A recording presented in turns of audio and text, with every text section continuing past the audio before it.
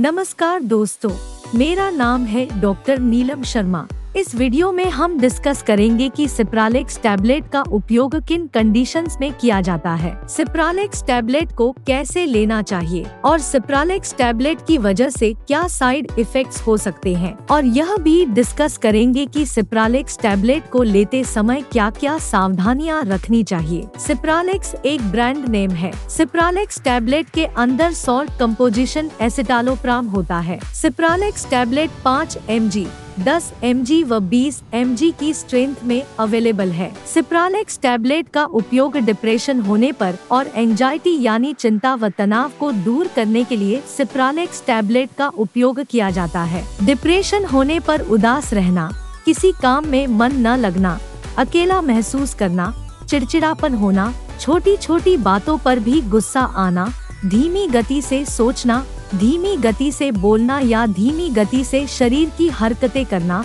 शरीर में थकान होना और ऊर्जा की कमी होना अपने जीवन को खत्म करने का विचार, आना आदि लक्षण डिप्रेशन होने पर हो सकते हैं। इसके अलावा जिन व्यक्तियों को नींद कम आती है, उन व्यक्तियों को भी डॉक्टर सिप्रालेक्स टैबलेट को लेने की सलाह दे सकते हैं। इसके अलावा पैनिक डिसऑर्डर होने पर भी सिप्रालेक्स टैबलेट का उपयोग किया जाता है। पैनिक डिसऑर्डर होने पर व्यक्ति बहुत ज़्यादा भयभीत और डरा हुआ रहता है। दोस्तों, अगर आपको वीडियो पसंद आ रहा है तो कृपया वीडियो को लाइक करना व चैनल को सब्सक्राइब करना न भूलें। अब हम डिस्कस करेंगे कि सिप्रालेक्स टैबलेट को कैसे लेना रिकमेंडेड होता है। सिप्रालेक्स टैबलेट को खाना खाने से पहले भी लिया जा सकता है और खाना खाने के बाद भी लिया जा सकता है। आमतौर पर 18 वर्ष से अधिक उम्र के ज़्यादातर व्यक्तियों को डॉक्टर शुरुआत में सिप्रालेक्स 5 एम टैबलेट या सिप्रालेक्स 10 एम टैबलेट को दिन में एक बार और नाइट में सोते समय लेने की सलाह देते हैं। लेकिन बाद में ज़रूरत पड़ने पर डॉक्टर सिप्रालेक्स 20 एम टैबलेट को भी दिन में एक बार और नाइट में सोते समय लेने की सलाह दे सकते हैं। सिप्रालेक्स टैबलेट की डोज उम्र,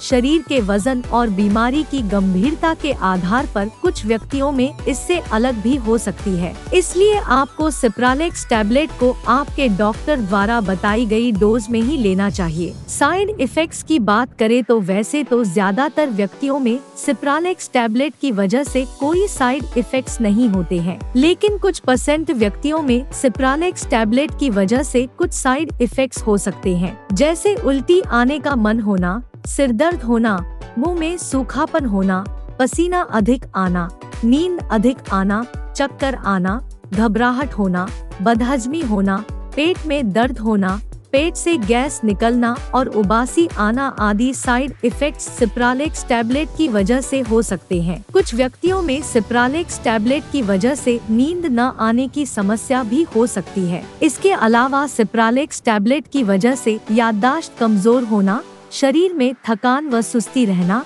दस्त होना या कब्ज होने की समस्या हो सकती है। लंबे समय तक सिप्रालिक्स टैबलेट का सेवन करने की वजह से शरीर का वज़न ज़्यादा भी हो सकता है और शरीर का वज़न कम भी हो सकता है। सिप्रालिक्स टैबलेट की वजह से सेक्स करने की इच्छा कम हो सकती है और पुरुषों में सेक्स के दौरान सीमन निकलने में देरी हो सकती है। अब हम डिस्कस करेंगे कि सिप्रालिक्स टैबलेट को लेते समय क्या क्या सावधानियाँ रखनी चाहिए। सिप्रालिक्स टैबलेट को लाइनजोलिड एंटीबायोटिक, खून पतला करने वाली दवाइयाँ जैसे एस्पिरिन और डिप्रेशन को ठीक करने के लिए उपयोग की जाने वाली कुछ कैटेगरी की दवाओं के साथ सिप्रालेक्स टैबलेट को लेना रिकमेंडेड नहीं होता है। इसके अलावा दर्द को कम करने के लिए उपयोग की जाने वाली नॉन स्टेरॉयडल एंटी इन्फ्लेमेटरी दवाइयाँ जैसे एसिक्लोफनेक, डाइक्लोफनेक आइबुप्रोफेन और निम्सुलाइड आदि दवाओं के साथ भी सिप्रालेक्स टैबलेट को लेना रिकमेंडेड नहीं होता है, क्योंकि इन दवाओं के साथ सिप्रालेक्स टैबलेट को लेने से दवाइयाँ आपस में एक दूसरे के साथ इंटरेक्ट कर सकती है, जिसकी वजह से सीरियस साइड इफेक्ट्स भी हो सकते हैं। सिप्रालेक्स टैबलेट के साथ